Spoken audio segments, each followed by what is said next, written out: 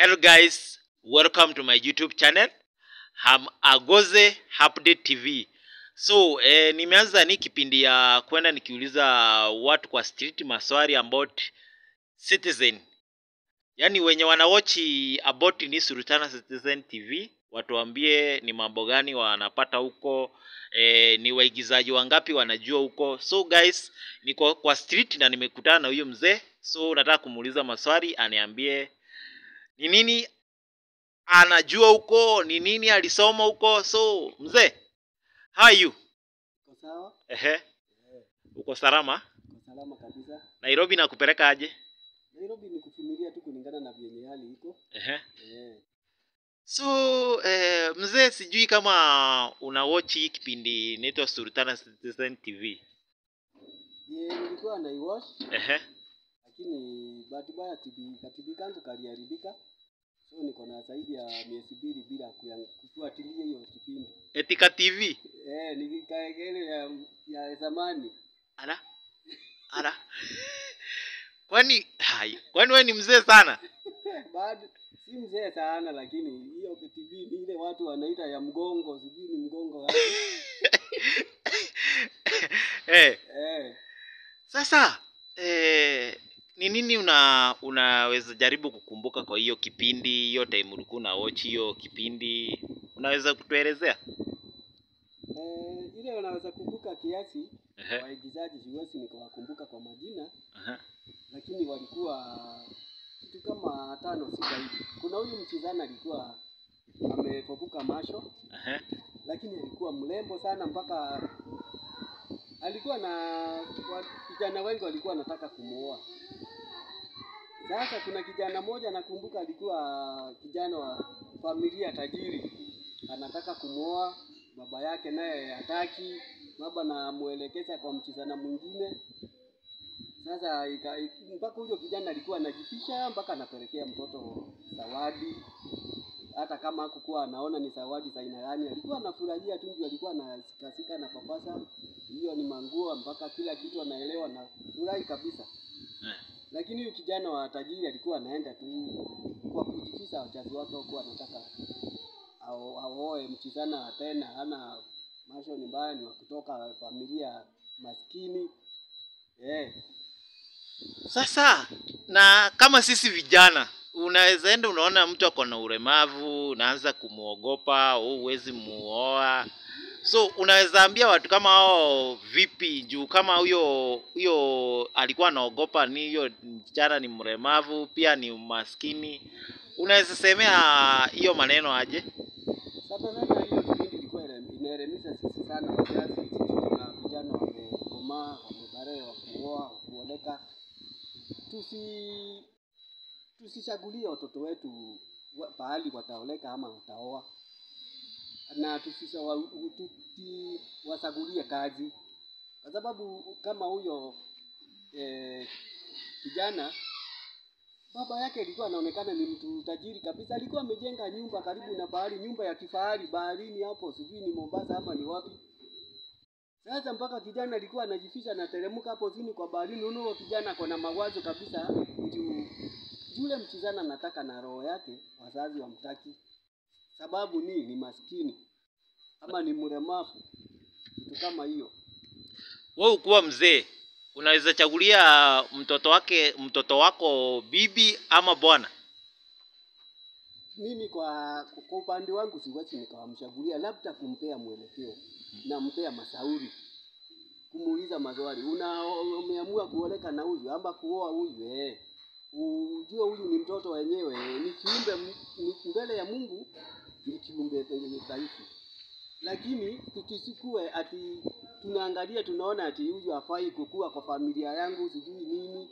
Huenda Mungu anaweza kuja kuwabariki baadaye na hiyo ulemavu ama hiyo umaskini ishe na uanze kujuta, angalau ni angeoa huko ama ungeoleka huko.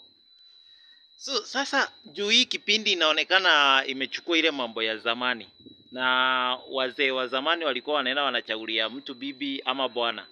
So eh, unaweza kutuambia venye kulikuwa kunaendelea mboti kuoana huko wakati wa zamani? Juu hii kipindi by the way imechukua mambo mingi sana ya mambo ya zamani.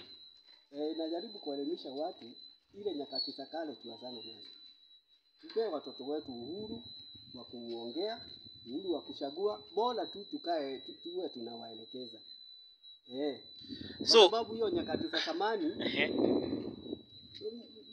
kijana alikuwa kama ni kijana anaenda anaoa, anaona mchizana pahali mpaka arudi nyumbani aelezee wachazi wake, nataka kuoa mchisana fulani wa mboma fulani. Mnaona aje sasa mtoto kijana kukuwa na uamuzi wala mchizana kukuwa na uamuzi mpaka wazazi wako wamuamulie, utaoa huyo, hapana, usimuoe, hiyo familia iko hivi na hivi na hivi, huyo hatumtaki kwa familia yetu. Na kama ni maskini wali maskini walikuwa wanawana kwa maskini tu, matajiri kwa matajiri tu. Mtoto wa tajiri angeoa kwa maskini, angekubalika eh. Ati hiyo ni kubeba masinda hiyo familia yote walete hapa, haiku tu inakubalika. Sasa wakati hiyo kipindi najaribu kuelimisha watu, hizo nyakati zimepitwa na wakati. Wow. Sasa unaona hiyo kipindi inaelimisha kabisa. Inaelimisha kabisa, uh-huh. tuache kukandamiza watoto wetu.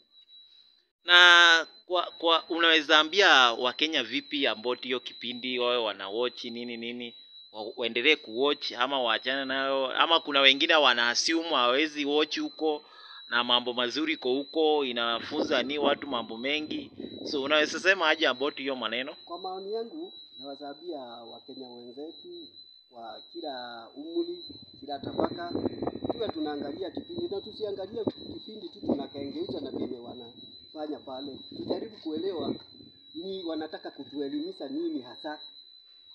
Kwa hivyo kila mtu akiangalia naona kee mwenyewe anaweza jirekebisha ama anaweza fikiria kitu hao hao watu wanataka tueli- tuelimike kivipi. Yeah.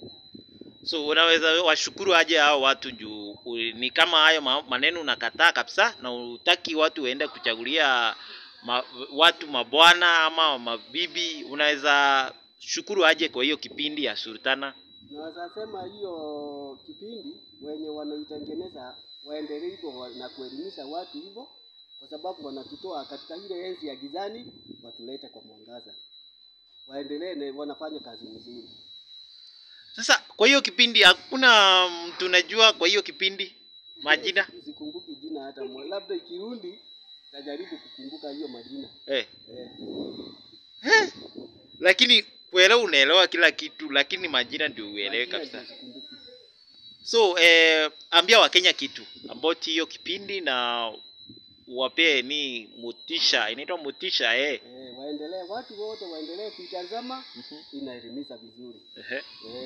so sijui utaenda enda uochi kuna hizi tv zimetokea saa hii eh, eh, hizi inaitwa inaitwa digital. Digital TV eh, saa uachane na ile analog enda ununue yako ka, ka tv at least uendelee kuochi mzee. Juu inaonekana ulikuwa unapata mambo mengi sana kwa hiyo kipindi Nitajaribu ning'ang'ane ninunue ako najua sasa karo ya shule imepanda juu, maisha imepanda juu. Sasa kubakisha mashalia ati niende ninunue ako ka TV. eh, wakati huu ni kugumu bwana. ama uende kwa jirani uko na jirani Jirani siku hizi maisha ikiwa hivi unaweza enda kwa jirani wakati anapika chakula na itoshi. Tukazilikia bure. eh, Eh, imetupeleka vibaya. eh. Eh. na wewe utaki kwenda kwa kwa kwa, kwa, kwa, kwa, kwa jirani Kutembelea jirani wakati huu eh, ai ni kumuumiza. eh, Eh, unga unga ni mia mbili. eh, Sukari we eh, sasa kutembea kwa jirani labda mkae huko nje na mtatoa TV nje. eh. Eh. so guys eh, kipindi ndivyo tutakuwa tunaendelea hivyo eh, thanks so much guys keep watching my videos. Remember to subscribe road to 1000 subscribe. Bye bye wacha tuonane in the next video. Bye bye guys